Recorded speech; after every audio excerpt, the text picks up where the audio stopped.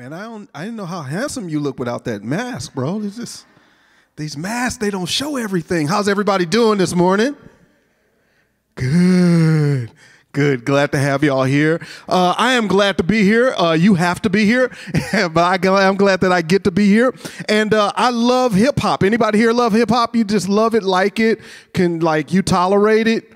All right. Uh, I, I started a gospel rap group back in the day. Preachers in Disguise is the name of the group. PID, actually, uh, that's what it stands for PID, Preachers in Disguise. At the time, we were just little hood rat kids just starting out. We didn't know that medically there is a medical term for PID. If anybody's in the medical profession or you're studying to be a nurse or a doctor, I, we didn't know it. We just started out, we were just hood. We was like preachers in disguise. That's what we do. We preach and we rap. And so we rap, but we we're preaching in disguise of rap, right? And so uh, when I got with somebody that was a professional, they told me, "Do you know what PID stands for?"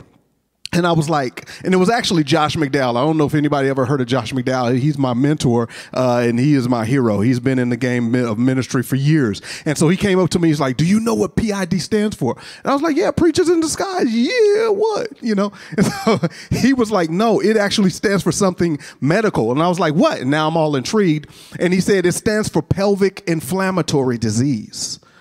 I was like, what? And I didn't know what that was, but it sounds like something's wrong all down here in these regions down here. Just something ain't right. and, uh, so my face turned all red. He couldn't tell though. So, but I got all embarrassed, you know, and I told him, no, that's what, our, what, what we about. We, we about just preaching. But anyway, we kept the name. But uh, anyway, we, we, we traveled and did a lot of stuff. And I love utilizing hip hop, uh, poetry, uh, different ways of storytelling. And so uh, one of the projects that I did, the name of the project is called uh, Look Around, and it's the entire book of Ecclesiastes translated into spoken word and into hip hop. So, can I do a little bit of uh, the third chapter with you guys? Can I do that? Now, some of y'all, if y'all really a hip hop enthusiast, you'll give me a little love and stand up with the beat start. If you're not, I understand it's not even like 11 o'clock yet and it's Monday. So I get it, but I'm going to rock. So if you rock with me, rock rock with me. Is that okay? Is that okay? Thank y'all. Thank y'all so much for letting me get wide open for just a little bit here in this lovely, beautiful morning.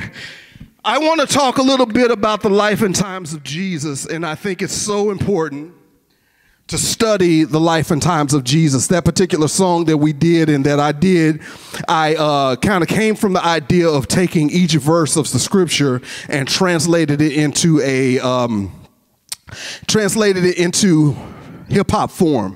What does the Bible say from a hip hop form, hip hop style of translating that late in that verse? And that's a powerful chapter. It says that everything there's a time and season. And so, if we study the life of Jesus and look at the life and times of Jesus, you see all types of times and seasons that he's in. And I'm going to look at a season, a time of the life of Jesus that we don't often look at. And so, I'm going to put the scripture up on uh, the screen and we're going to look at this particular uh, moments, these moments in the life of Jesus. If the scripture says that everything there's a time and season and everything fits, where that's why I said you gonna get your turn and I'm gonna get my turn. Back in the day, they did a song on the third chapter of Ecclesiastes. Uh, a bunch of hippies put the song together and they said, "To everything, turn, turn, turn. There is a season. Turn, turn, turn." Well, those truths are everlasting. They never end, and that's what makes that song so relevant to today everything. And so, if everything happens, there were time and seasons in Jesus' life that uh, we don't always talk about, but they were there. So I'm going to go to the seventh chapter of the book of Mark. And I'm going to read this. And it says that then he returned from the region of Tyre and Sidon to the Sea of Galilee in the region of Decapolis. And they brought to him a man who was deaf and had a speech impediment. And they begged him to lay his hands on him, and taking him aside from the crowd privately, he put his fingers into his ear, and after spitting, touched his tongue. Uh, and it says, and looking up to heaven, he sighed. Everybody say that with me. And looking up to heaven, he sighed. And he said to him, Ephphatha that is, be opened. and his ears were open, and his tongue was released, and he spoke plainly. And Jesus charged them to tell no one, but the more he charged them, the more zealously they proclaimed it. And they were astonished beyond measure, saying, He has done all things well. He even makes the deaf hear and the mute speak. I want to draw your attention again to that 34th verse in the book of Mark in the seventh chapter. Uh, that 34th verse, it says, And looking up to heaven, he sighed. Imagine the Son of God coming down from heaven here on earth, still remembering the glory. Remember the, the 17th chapter of the book of John. Jesus remembered the glory that he had with the Father. He remembered heaven. Wouldn't that be amazing to actually come here? I heard this story once of these two babies, like this one baby that was just born, and her, her little brother was about four years old old, and uh, and this was two parents. They shared the story. Is that they they they they introduce, of course, the little baby to the four year old, and the four year old sees the little baby sister, and he loves her and everything. But then the mom and dad they walk out of the room. And then they just kind of peek over and around the side, and they heard the little fourth year old look at his little sister. And he said, Quick, quick, before you grow up and forget everything, tell me what it's like to be in heaven. Jesus knew what it was like to be with the Father. And the Bible says that as he's about to pray for this guy who was deaf and, and, and he had a speech impediment and couldn't talk, and he laid his hands on him, before he did it, he took a moment and just looked up. And I can wonder, but just wonder what was going on in Jesus' mind as he looked up to heaven and sighed. And then he said to him, be opened. I want to talk about moments in Jesus' life when Jesus sighs.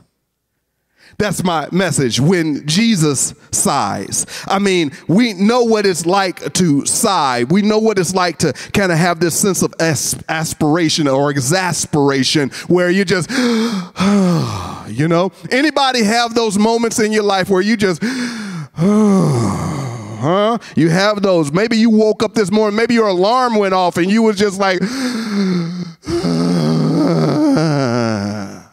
right? Here, Jesus sighed. And like I said, I wonder what was going through his mind. Because Jesus sighs a couple of times in the Bible. Here's my question Have you ever made Jesus sigh? Have you ever? I mean, because think about that sigh. Just.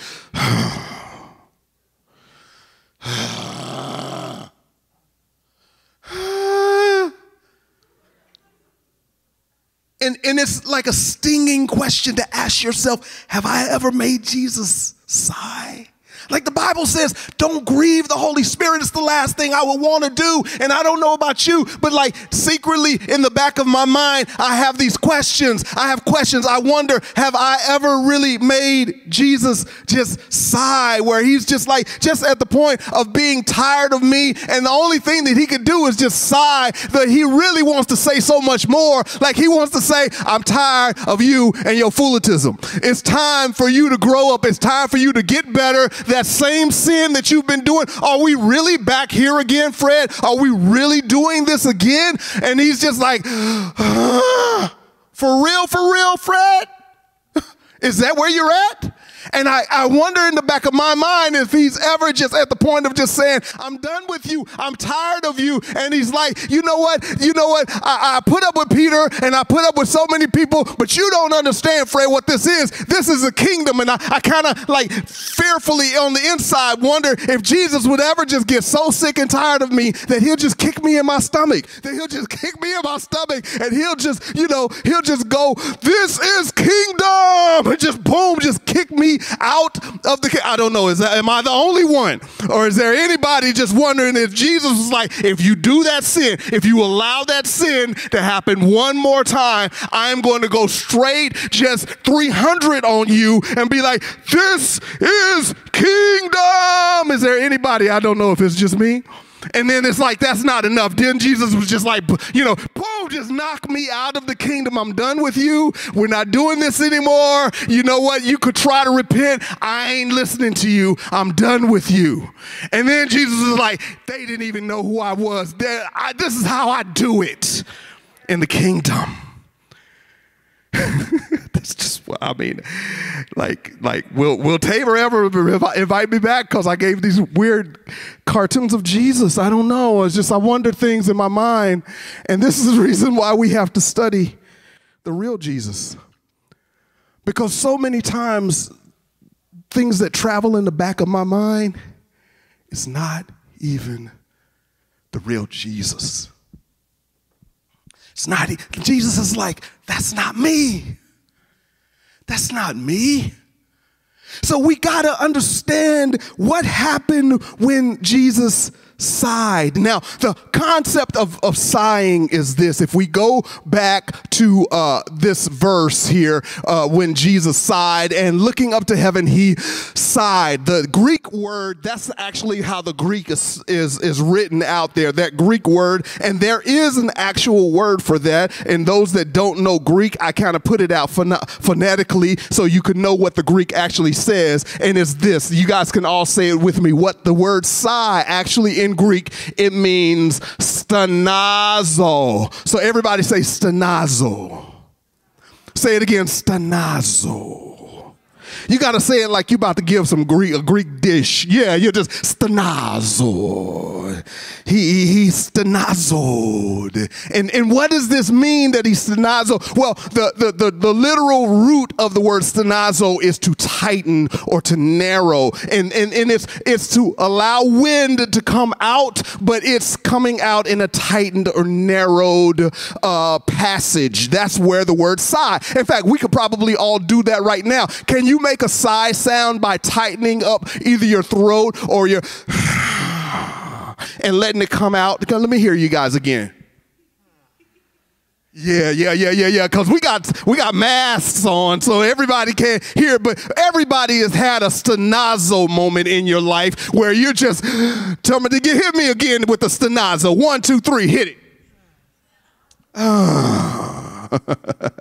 and you have these moments, these stenazo moments. And you know, th- this is the funny thing about a stenazo moment is that it says so much with saying so little, right? Think about a sigh. A sigh says so much. A sigh is just like, thank you, sweetheart. A, a sigh is like, oh man. Mm and you say so much with saying so little. That's why I think in every like culture, this stenazo sighs happen. It's like a, a universal language that we all have because it really is communicating something. And what I want to look at in the next 10 minutes is uh, a, a, little bit of what is it really communicating and what was Jesus communicating in this moment of his deepest sigh. He sighed and he looked up. If you look up deeper, the scripture actually says that the next thing that he did is he touched him and he said, Be opened. See, I honestly think that the deep sigh came from an exasperated point and place of this man was being blocked. So, what Jesus was really sighing at was not the fact that he was broken or sick or he was mad at this. He was mad or he was exasperated at this man is being blocked because he said, Be opened. Jesus wants you to be opened. and it makes him sigh. It makes his heart break. It hits him deep in his guts when he sees that you are comfortable with your blockages. Anybody feeling what I'm saying right here? Have you ever been to the point where you've got comfortable with your blockages and you just let the blockages come in like it's a piece of furniture in your room? It's like, don't mind that, that's just a blockage. Huh? And so, so in, in order for you to get into a new relationship, you have problems because you can't trust men anymore. And everybody, every man that tries to come into your life, God brings somebody in your life, they can't get around that blockage. That's just, well, that's just a blockage. All men are dogs. Just, that's just my blockage. Huh?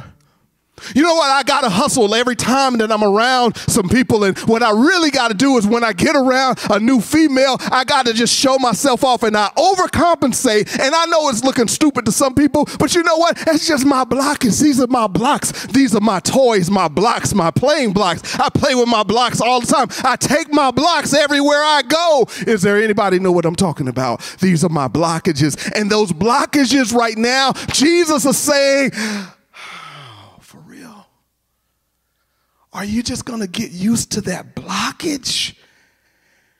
And, and what Jesus did is he said, be opened, let go, and allow that blockage to get removed give you a little hint of how I study sometimes, and I want to pass this on to you and share it with you because I, have I've been doing it for close to 30 years now, and, and I've been perfecting it, and it's been perfecting me. Is that often I'll listen to scripture. I'm an audible learner, so I'll put on my Bible app. How many of you guys got that YouVersion Bible app? Represent? Yeah, I did that, but then I throw it onto the the audio, and I'll play a, a version. So I play a little bit of Proverbs every day, and then a little bit of Psalms and a little bit of New Testament. And what I do is I wait for a word to just kind of pop up at me. Almost, I kind of call it like it bubbles up. You know, all of these words, all of the scripture, and what word bubbles up. And it was just happens, just so happened about a week ago, this particular word about Jesus sighing bubbled up. And for some reason, it just stayed there, stayed at the top, floated at the top of my mind. And that's why I got into this whole study about when Jesus sighed. There's only one other time in scripture in the book of Mark where it actually used this stenazo word, and that's in the eighth chapter of the book of Mark. The eighth chapter, it says this. I'll tell you the story real quick and we'll run through it real quick. It says the Pharisees, they came and they began to argue with Jesus and see, seeking a sign from him, a sign from heaven so they could test him. And he sighed deeply in his spirit. That's that same word, stenazo. He sighed deeply in his spirit and he says, Why does this generation seek a sign? Truly I say to you, no sign will be given to this generation. And he left them, got into a boat again, went to the other side. Wonder what was going through Jesus' mind as these religious zealots Maybe it was because they just wanted to be right. You ever been around somebody that's so religious that really behind it you can sense a type of fear? Like it's fear on tap. It's constant. It's a drip, drip, drip of fear that it's really just fear. It's not just you love God. You just afraid that God is going to be like, this is kingdom and kick you away from him. And so that that scare of being kicked in the stomach is driving you to act a certain way. The weird about thing about that, and I can say that I can speak on it because I've been at places in my life where I've been religious. What happens is that that fear pervades, and then it starts spreading to other people, and you try to get other people to live in the realm of fear that you're living in. So you try to get them to be as religious as you. This is what I love about Jesus is that he went to the tax collectors, he went to the wine bibbers or to the party goers, and then he went to the religious folks and he loved them all the same.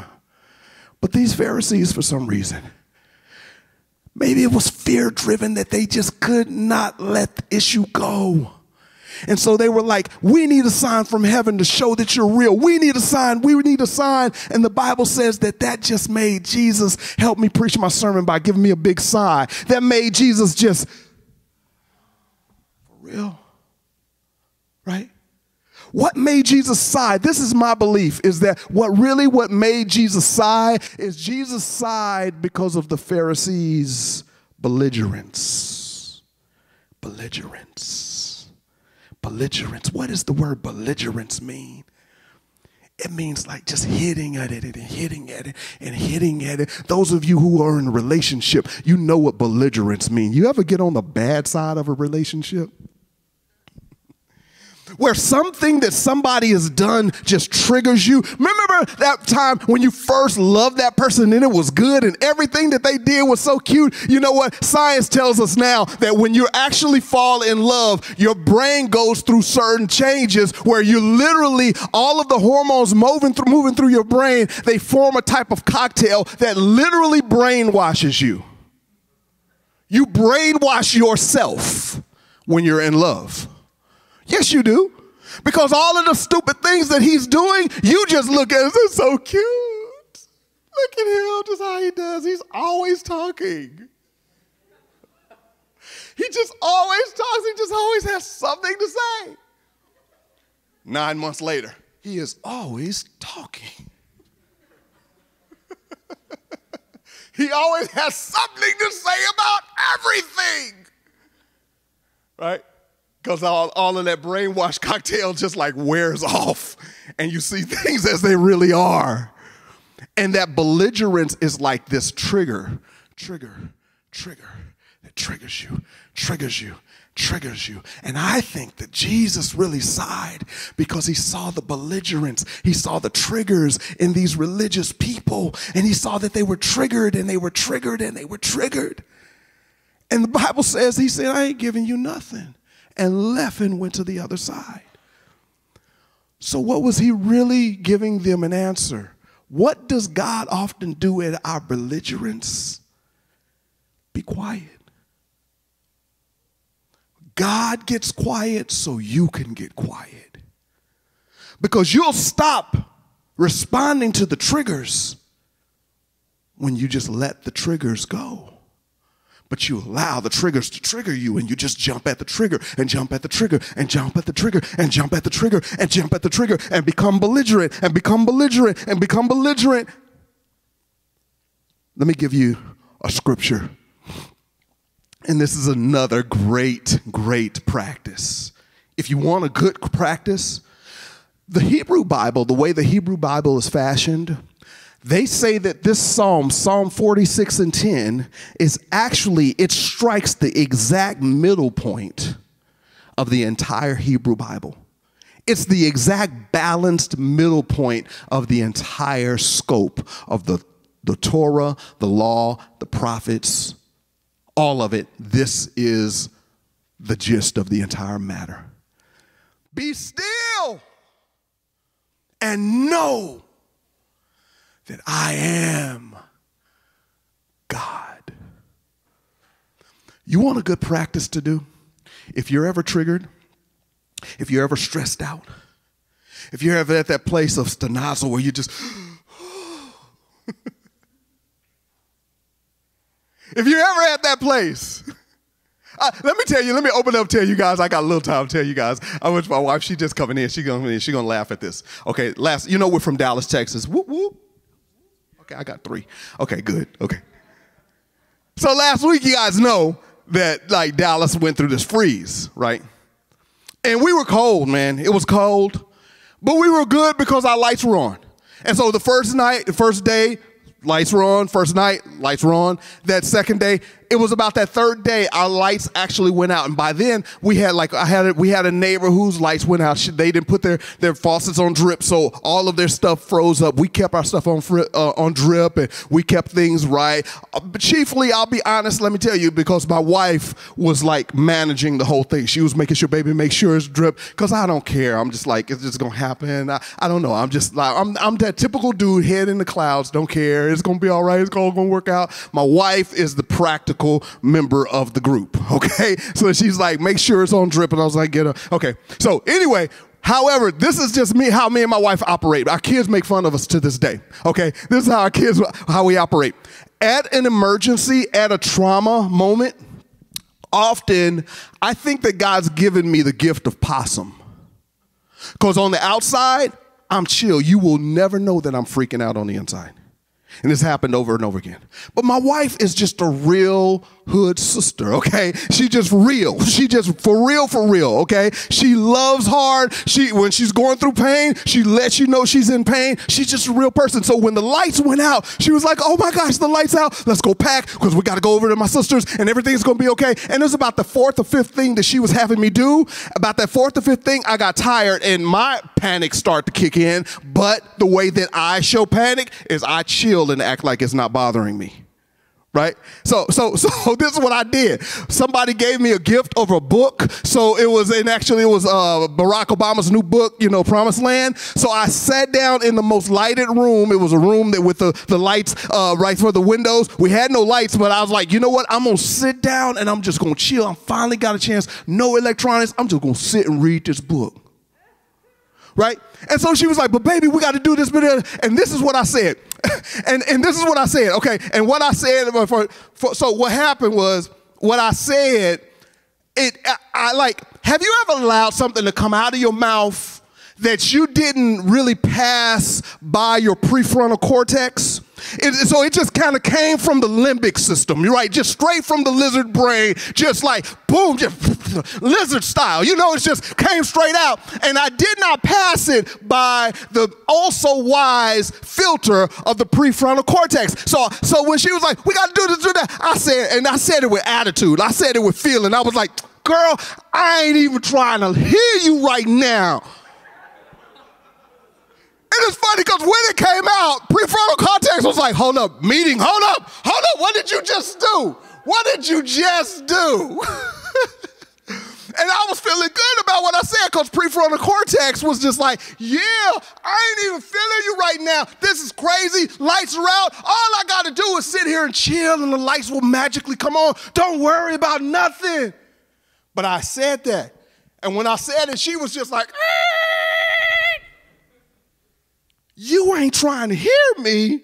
You're not listening to me. And all I can say is, I wish that I would have just sighed. Because if I would have sighed, one of the powerful things, before we go further, one of the powerful things that happens when you sigh, and, and, and, and I found this in, in, in a study. There's a study that what happens when you sigh is, and, and we sigh, I didn't know this either. We sigh at least 10 times a day. Because often there is a imbalance of oxygen and NO, which is nitrogen oxide or whatever that kind of stuff. And there's this imbalance. And when you sigh, it, it, it, re, it like recalibrates your body. Often also thought, thought wise, so that's physical. Psychologically, when you sigh, you reset your thinking. You have a moment and you stop.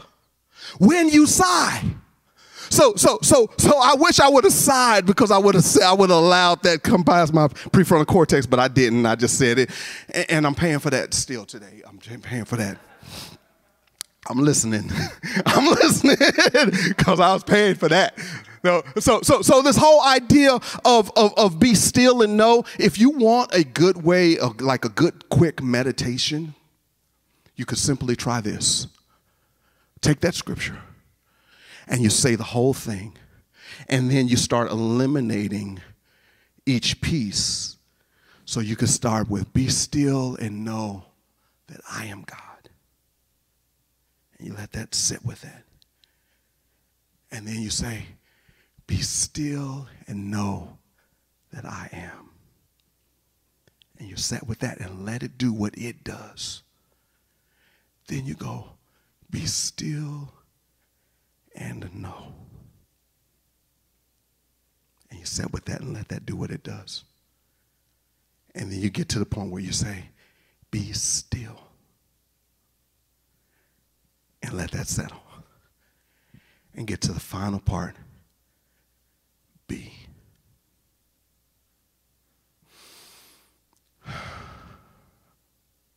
It recalibrates you, it pulls you back it, brings you right back to focus. So I think that Jesus was concerned about these guys that was belligerent, and so he sighed.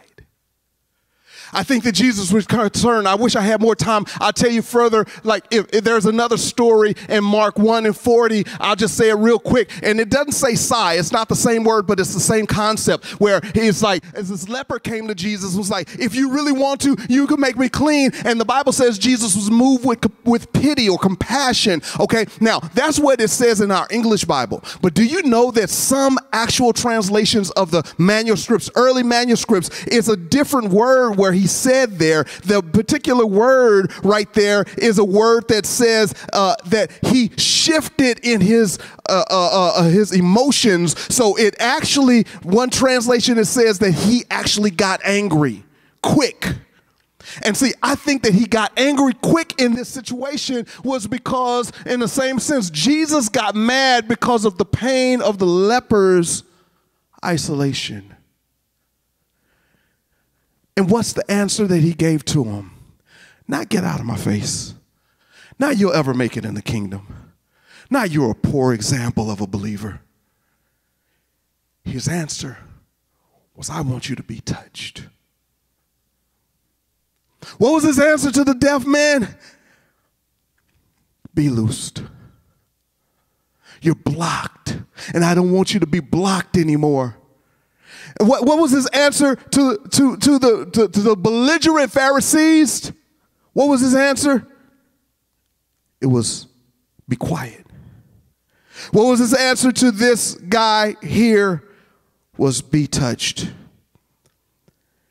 Finally, one last thing, and I'll tell, kind of tell you this story real quick, and I don't have enough time. You guys know this very well. Is the story of uh, Lazarus was being raised from the dead, and, and we get one of the famous, famous verses, the shortest verse in the Bible, where Jesus cried, Jesus wept. Why did he cry? I believe he cried ultimately because of the unbelief. So, what was his answer to them? Is to believe. So, my first question that I ask you have you ever made Jesus sigh? Don't lie. You probably made him sigh three times today. I'm sure I made him sigh five. But in each time that he sighs, it's never him saying, I'm tired of you. God, my face. I can't stand you or your mama. it's never that. It's never that. Here's my message God is not mad at you, He's madly in love with you. God is not mad at you, He's madly in love with you. God is not mad at you, He's madly in love with you. And when you're blocked, He's just saying, I want you to be open. And when you're belligerent, He's saying, I just want you to be still. And, and when you're isolated, He's saying, I want you to be touched. And when you're unbelieving, He's saying, I want you to believe. All within one simple sigh. Let's close this time by joining in with Jesus in that sigh. Do you know what the word conspiracy means? The word conspiracy means spear is breath, con means with. The words conspiracy actually comes from to breathe with. Why does it mean to breathe with? Well, you can imagine if somebody's telling a secret, they're like breathing together. Nobody else can hear them. They're breathing the concept together. What if we get into a conspiracy moment with Jesus? About our own life, our own future, our own presence. And we sigh with him right now. What if you sighed? What if you, in your imagination, close your eyes right now, and in your imagination, when you take in this sigh and let it out, so much will be said with so little being said. Are you ready? Let's do it. One, two, three.